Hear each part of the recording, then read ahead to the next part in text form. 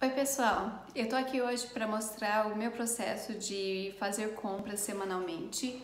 Eu comecei a fazer, eu comecei a seguir isso faz alguns meses e tá resultando em economia e menos desperdício e também facilita o meu estado mental, porque eu não tenho que ficar desesperada e em pensar todo santo dia o que, que é que eu vou fazer. Eu vou mostrar pra vocês como é que eu faço.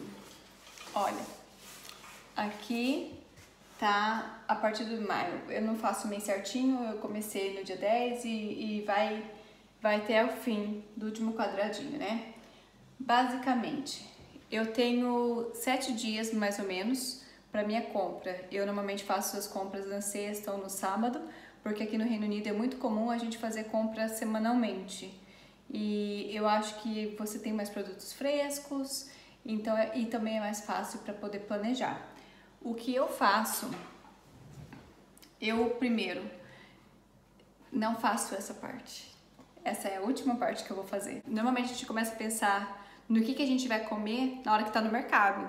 Aí você compra aquele monte de coisa sem planejamento nenhum você enche o carrinho, deu aquela fortuna e, na, e, e não dá. Você chega em casa e não tem. Ah, eu quero fazer bolonhesa. Ah, tenho a carne moída, mas não tenho todo o resto. Não tenho, não tenho molho de tomate. Ah, eu vou fazer um risoto. Não tenho parmesão. Então, você tem tanta coisa, mas ao mesmo tempo não tem. Esse método elimina essa preocupação de não ter os ingredientes que você necessita para fazer aquela quantidade de comidas naquela semana. O que eu faço, eu vou mostrar para vocês um clipe rapidinho de eu fazendo o inventário. Meu primeiro ponto, o ponto de partida é fazer o inventário. O que que você tem na sua cozinha? Faz uma lista. Eu tenho, eu faço no celular, normalmente eu não faço aqui, não faço no papel. Só fiz mesmo por causa do vídeo.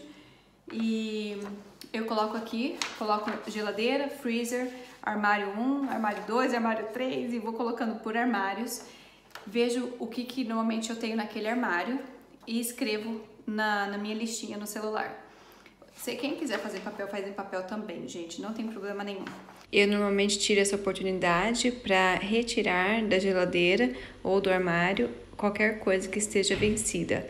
Normalmente não temos muita coisa vencida, mas às vezes acontece de um danone ou alguma coisinha estragar ou algum legume. Eu vou passando através de tudo que eu preciso anotar. Eu já aproveito e limpo também, já nesse caso pro vídeo eu já tinha limpado. Depois da geladeira eu vou pro freezer. E então eu vou para os armários e faço o mesmo processo. Limpo o que tem que limpar e vejo se tem alguma coisa vencida e anoto tudo que tem e coloco na listinha de compra, mas pode ser que eu tenha que comprar somente na semana seguinte, dependendo do que vai estar no cardápio das receitas da semana. E agora a gente vai para o segundo passo. Depois disso, eu vi quanto que eu tenho. Eu tenho tantos iogurtes, eu tenho tantos, uh, tantas cenouras, eu tenho tantas linguiças. Eu tenho que usar a cenoura até quarta-feira, senão ela perde, ela vai pro lixo não quero que ela vá para o lixo, então eu vou colocar um bolo de cenoura aqui na minha lista.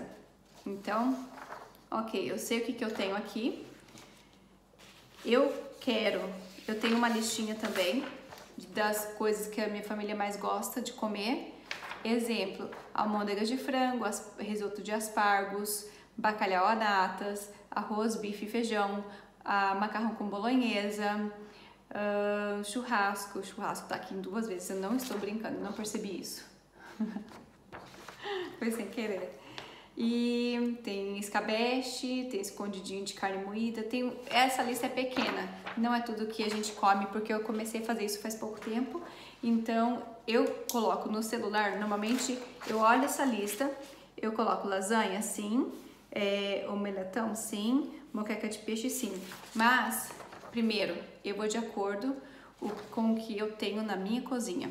Se eu tenho um peixe, tem um peixe ali, eu quero fazer o peixe, então vamos, vamos ver quais as receitas que eu tenho aqui que minha família gosta que vai peixe. O que, que falta para essa receita? Se eu for fazer moqueca, a gente adora moqueca. Se a gente for fazer moqueca, o que, que falta? Eu tenho tomate suficiente, eu tenho coentro suficiente, eu tenho é, salsinha o suficiente? Não, não tenho. Então, ok, eu sei que vou fazer moqueca. Eu não tenho a moqueca na minha lista.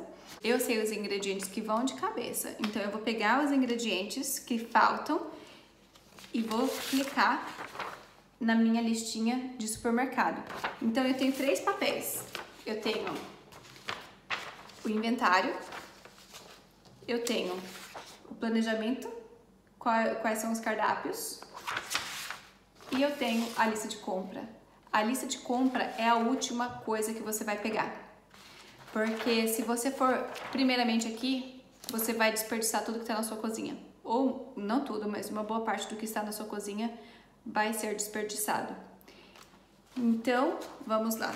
Nessa semana eu vou fazer a bolonhesa, que em casa é sempre.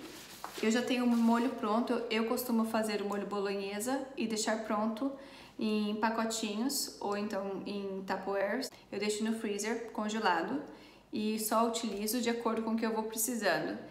Serve muito bem para aqueles dias que você está com pressa ou aqueles dias que você não quer fazer nada. Você tira a bolonhesa, faz o macarrão rapidinho, pronto. As crianças aqui em casa são apaixonadas por macarrão, são bem italianinhos. Então aqui em casa funciona super bem. Acha aquela comida que para você é prática, que para você é um, você sabe que a sua família ama, faz, faz a mais. Não, não faz a mais só para congelar. Mas o dia que você estiver fazendo, coloca no papel para poder, poder comprar quantidade maior e faz bastante. E congela, mas separado, não, não tudo, porque senão você tem que descongelar tudo e acaba não reutilizando tudo. Mais uma dica, eu amo a organização do meu armário. Assim que você abre, você consegue ver exatamente o que está faltando. No caso, a hora que eu abri, deu para ver que o potinho que está escrito oats, que significa aveia, tá vazio. Eu tenho que comprar aquilo essa semana. O pacote de arroz, o potinho de arroz também tá vazio. Eu preciso comprar essa semana. Se você viu eu tirando o macarrão, atrás tá o arbóreo, que é o arroz para risoto, também tá faltando. Então eu também tenho que comprar. Já macarrão, assim que você abre o armário, você vê um monte de macarrão. Eu não preciso comprar o macarrão. Então, assim que eu abro o armário, eu consigo visualizar o que, que eu preciso comprar ou não. Tem outro armário também que eu não mostrei no vídeo, mas que é de pão e cereais. E não precisei mostrar porque tanto era só para um exemplo mesmo. E facilita a minha vida. Depois que eu organizei dessa forma, não tem desperdício em casa. Essa forma de fazer o inventário, ver o que, que eu tenho em casa, então decidir as receitas que eu vou fazer naquela semana, me facilitam. Na hora que eu vou no mercado, eu vou com uma lista. Eu não compro o que está na minha frente, eu não gasto demasiadamente e também é, facilita no dia a dia, porque assim eu fiz uh, cinco ou seis ou sete refeições que eu vou fazer na semana. Depende da família, às vezes vocês querem repetir, deixar para sobrar, para amanhã então você dobra a receita para fazer num dia. Eu não gosto muito de fazer isso e como eu não estou trabalhando por causa da quarentena, para mim é fácil ficar em casa e fazer. Mas normalmente eu faço uma receita para dar a janta e o almoço. Então no dia seguinte é sempre o, o, a janta do dia anterior. Só então, depois que eu decidi aqui, eu venho aqui e coloco moqueca, coloco churrasco ou o que seja. É, para mim é fácil visualizar dessa forma tem pessoas que não gostam de estar restritas. Ah, eu tenho que fazer isso tal dia. Não, eu também não sou restrita dessa forma. Eu não fiz almôndegas nesse dia, eu não fiz o fish pack desse dia, tanto que eu, é, vai ser a moqueca da semana, dessa semana que vem. E esse aqui eu fiz, esse aqui eu fiz na segunda-feira. Então tem uma troca aqui. Não é necessariamente uma coisa que você tem que seguir risca do lápis. Eu não sigo assim.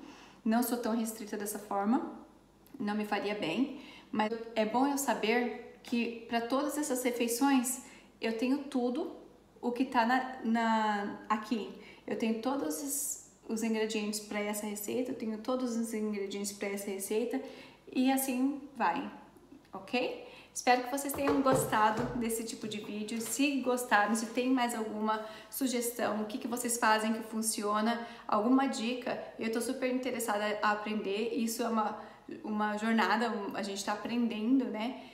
Essa forma tem funcionado para nossa família e semanalmente. Tem gente que consegue fazer quinzenalmente ou mensalmente. Eu não consigo pensar tão à frente assim. Eu acho que eu não, não funcionaria dessa forma. Eu prefiro semanalmente, no máximo 10 dias.